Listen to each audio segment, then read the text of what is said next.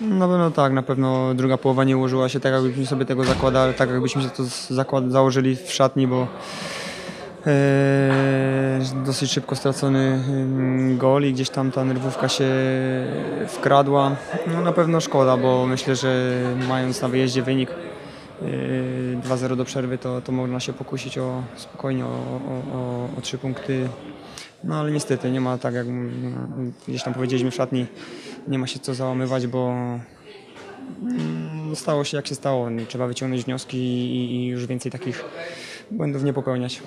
Widać, że właśnie wyciągacie wnioski. Drugi mecz z rzędu, gdzie szybko zdobywacie gole, gdzie prowadzicie grę, czyli nad tym powolnym wejściem w mecz, czym był problem na początku sezonu, już zapanowaliście.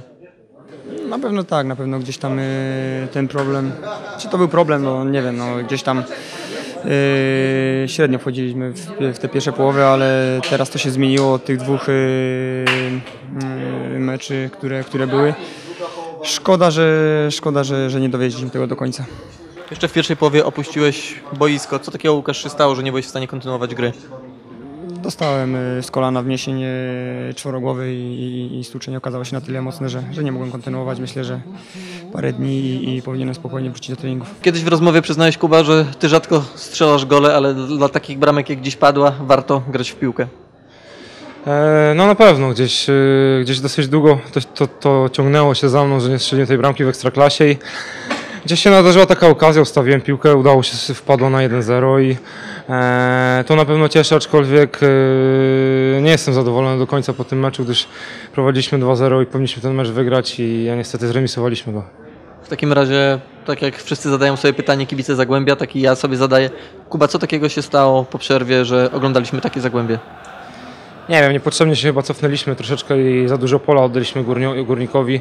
E, górnik zaczął e, od tyłu rozgrywać tę piłkę gdzieś e, niepotrzebnie też faulowaliśmy w, okolicach pola karnego, no, z czego się wzięły dwie bramki. Tak? Pierwsza bramka rzut, rzut wolny, druga bramka też po rzucie wolnym, gdzie George dostał w rękę i rzut karny, więc no, na pewno to był też chyba błąd, jeśli chodzi o początek drugiej połowy. Później troszeczkę szliśmy wyżej, też e, automatycznie górnik e, e, przestał stwarzać może też takie groźne sytuacje. Tych e, rzutów wolnych też może nie było tak, tak, tak dużo, aczkolwiek no mówię, e, przespana, przespany początek drugiej połowy. Nie, nie powinniśmy tak oddać pola górnikowi, a na pewno byśmy dzisiaj wywieźli stąd trzy punkty. Rywale czymś was zaskoczyli? Wiem, że na odprawach mówiliście choćby o stylu gry Maćka Korzyma, który kiedy widzi spadającą piłkę, to nie startuje najpierw do piłki, tylko startuje do rywala i szuka kontaktu. No tak, wiedzieliśmy, że Górnik e, wzmocnił się e, na dniach trzema transferami i że to są bardzo wartościowi zawodnicy.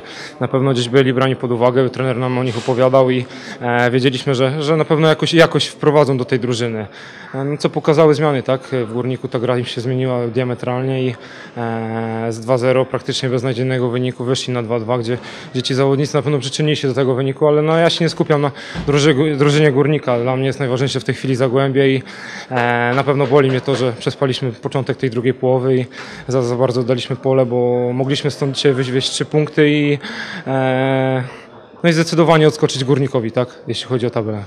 Jest remis, jest punkt, który i tak trzeba uszanować. Tak, zdecydowanie. Tym bardziej, że tutaj jest bardzo ciężki teren. Górnik e, u siebie na pewno nie będzie przegrywał. Tutaj e, nie wszystkie drużyny przyjeżdżają i, i prowadzą 2-0, tak jak dzisiaj my, my prowadziliśmy, dlatego e, trzeba szanować ten punkt dzisiaj i co, patrzeć w przód, tak? Przed nami mecz z Ruchem Chorzów w sobotę i wszystko zrobimy, żeby wywieźć trzy punkty, żeby trzy punkty zostały w Lubinie.